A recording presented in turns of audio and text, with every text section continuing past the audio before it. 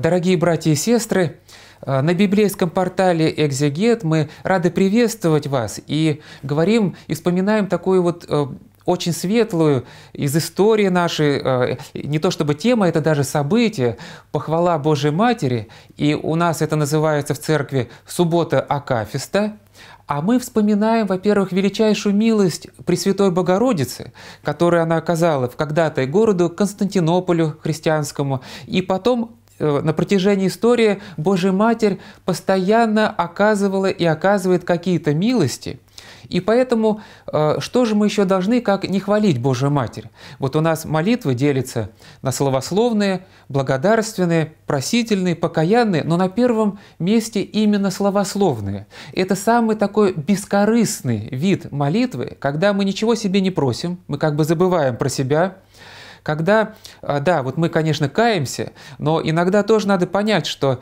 в какое-то время вот ты просто вспомни про Бога и про Божию Матерь. А да, ты грешен, но не надо тоже выпячивать, вот я грешен, я грешен. Ты вспомни Господа и Божью Матерь, которая заботится о тебе. И не всегда нужно просить Божью Матерь. Да, мы благодарим ее, это вот благодарственные молитвы, когда Пресвятая Богородица в чем-то нам помогла. А иногда нужно просто ее славословить, восхвалять. Просто за то, что она есть, за то, что она именно Матерь Божия, Ибо сам Господь, неизреченный, всемогущий, который весь есть любовь, Он пришел в наш мир, родился как человек, Иисус Христос, даровал нам Евангелие, умер за нас на кресте и воскрес. И вот сама Божья Матерь, она всегда при этом в тени. Вот в Евангелии она в тени. Даже когда какие-то чудеса, она тоже как-то стоит скромно в стороне. И это такое вот так материнское смирение. Поэтому за это и нужно ее особенно восславить. Э, благодарим Тебя, Пресвятая, Владычица наша, Царица Небесная. А, собственно, событие субботы Акафиста – это 626 год, когда город Константинополь был э, охвачен, э, буквально окружен врагами, и э, на самом деле решалась судьба Византии уже в то время. Это сейчас мы знаем и понимаем, что Византия, она продержалась вплоть до 1453 года, то есть фактически еще 800 лет с лишним. А в то время Константинополя могло просто-напросто не быть, потому что э, в империи проходили внутренние такие вот потрясения. Пришел к власти император Ираклий, э, который, кстати, э, конечно, он был хорошим таким, может быть, военачальником, но в плане вот православия он не очень-то был устойчив. И э, он уезжает на восток, чтобы воевать с перцами, и вдруг неожиданно сами перцы оказываются возле э, Константинополя, а с, западной стороны подходят еще различные варвары, в том числе скифы, и считается, что и языческие племена славян тоже вместе со скифами подошли к Константинополю, и вот город э, охвачен со всех сторон, окружен врагами, если бы он развалился, то все, не было бы крещения Руси, а может быть и было бы, но уже по э, другим путям промысла Божия. Но всякое такое падение православной державы – это для нас только скорбь и печаль. И вот э, православные жители Константинополя обратились с молитвой к Пресвятой Богородице. И патриарх Сергий, он с иконой Влахернской, иконой Божьей Матери, считалось, что это тоже вот та икона, которая была по преданию написана евангелистом Лукой, он с нею обошел вокруг города таким крестным ходом. И мы знаем, что во время бедствий всегда вот предстоятели, иерархия, они совершают крестный ход.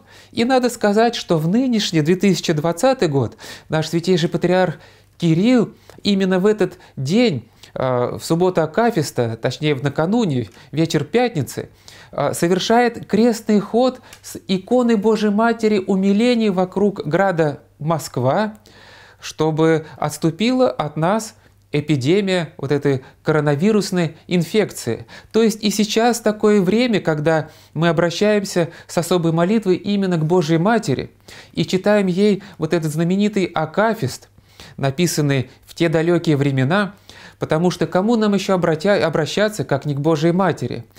а икона умиления, с которой святейший патриарх Кирилл объезжает вокруг града Москвы, это икона преподобного Серафима Саровского. Он молился перед этим образом.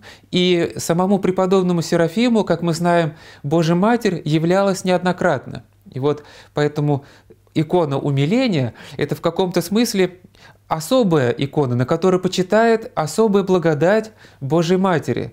Так что и мы ныне тоже не оставлены Царицей Небесной, но и в тот э, год, 626 после крестного хода, явлена была особая помощь Божия, и буря потопила суда неприятелей, враг отступил, город был спасен – и именно тогда написан был вот этот знаменитый кандак Божьей Матери, взбранной воеводе победительны, яко избавшийся от злых, благодарственны, восписуем тира битвы Богородицы, но яко имущая державу непобедимую, от всяких нас бед свободи да радуйся, невеста, не невестная».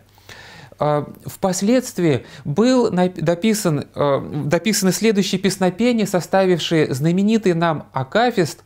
И поскольку спасение города Константинополя пришлось как раз вот на субботу пятой седмицы Великого Поста, то с тех э, времен вот этот день, он особо выделяется в церковном году. И мы обращаемся к Божьей Матери, чтобы она не лишила нас своей материнской заботы – вот э, я вспоминаю, как рассказывал мой духовник, архимандрит Илья, он в Свято-Троицкой Сергиевой Лавре, смотритель патриарших покоев, он рассказывал про свое духовное чадо Лидию Муравьеву. Она, будучи э, простой вот девушкой, когда жила в Сергиевом Посаде, упала, ударилась грудью. Там образовалось такое вот затвердение, потом стала развиваться онкология, потому что она вовремя к врачам не обращалась. И э, в итоге ей говорят, это еще было в советское время, ей говорят, что вылечить тебя невозможно, хотя ей делали операцию, но ситуация оказалась с точки зрения земной безнадежной. И тогда вот она, э, будучи в палате больничной, она стала молиться и говорит, вот Господи, э, почему же со мной такое происходит? Ведь я же всегда, Господи, в Тебя верила. Почему мне это попущено? И вдруг ей как явился образ Божьей Матери, ей сама Пресвятая Богородица явилась, она говорила, что так, как изображается на Казанской иконе. И она говорит, «Э, Лидия, почему ты отчаиваешься? Ты вовсе не оставлена. Э, Господь э, никогда тебя не оставлял. На этом видение закончилось. Как правило, Божья Матерь и вообще святые небожители, они в видениях не очень много говорят, но их слово является таким кратким, но точным ответом. И вот после этого отец Илья совершил соборование этой девушки Лидии. А соборовать в советское время было очень непросто, но они тайно, очень рано после братского молебна, примерно около 6 утра, а, а, в Михеевской церкви а, совершили соборование – присутствовала еще мама и сестра вот этой Лидии. После этого отец Илья благословил ей причаститься три раза. Вот она причащается первый раз святых тайн. А, мама приходит к отцу Илье, говорит, что нет, еще э, не, все как было, так и есть. Второй раз она причастилась, тоже никак. А после третьего она прибегает и говорит, что Лидия совершенно исцелилась, произошло настоящее чудо, у нее прошла эта болезнь, после этого она ездила, показалась врачам, которые ее лечили, те даже не ожидали, э, радовались, хотя были ли они верующими, это большой вопрос. Но достаточно быстро Лидия вышла после этого замуж за семинариста, и у них э, родились дети – вот кто-то из них, насколько мне известно, тоже стал э, священнослужителем, но э, здесь мы видим, что Божья Матерь, она никогда нас не оставляет. Она наша заступница, и поэтому где бы мы ни находились, какие бы горести к нам ни подступали, мы всегда можем обратиться именно к ней, но иногда нам надо просто отложить свои вот эти вот корыстные просьбы и поблагодарить и прославить саму Царицу Небесную – вот суббота Акафиста или похвала Божьей Матери об этом нам и напоминает, что надо просто вот сказать «Слава тебе, Царица Небесная, за то, что ты вообще есть, что ты держишь свой покров над нами, что ты заботишься обо всех нас, и пусть вот эта вот искренняя сердечная молитва, она восходит как фимиам к небесам, и такая молитва, она как авелевы дары, особенно цена пред Господом. Э, дорогие братья и сестры, э, всех вас с этим сердечным праздником. Еще хочется вспомнить, что суббота Акафиста, она находится между двумя такими э, удивительными днями. Это стояние Марии Египетской и неделя, посвященная опять-таки Марии Египетской. А почему так? И это может быть тоже не случайно, Господь так вот устроил. Почему? Потому что именно Божия Матерь вразумляет э, Марию Египетскую и становится ее первой такой вот в каком-то смысле духовной наставницей. Вот помните, когда Мария Египетская э, пыталась войти в храм воскресения, и какая-то чудесная сила, ей непонятно еще, останавливает ее, так что она не может войти вместе со всеми, приложиться ко кресту Христову.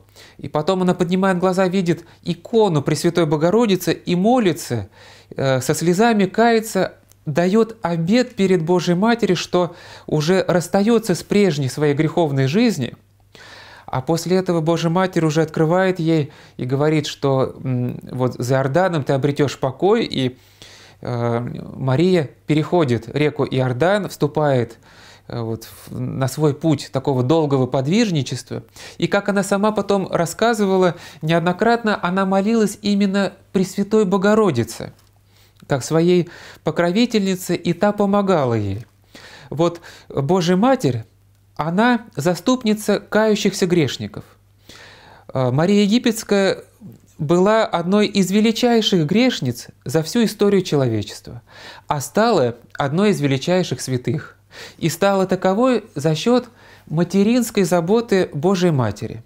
И поэтому у каждого из нас вот тоже есть какие-то свои великие грехи, но у каждого из нас есть отрада, ибо есть Божья Матерь.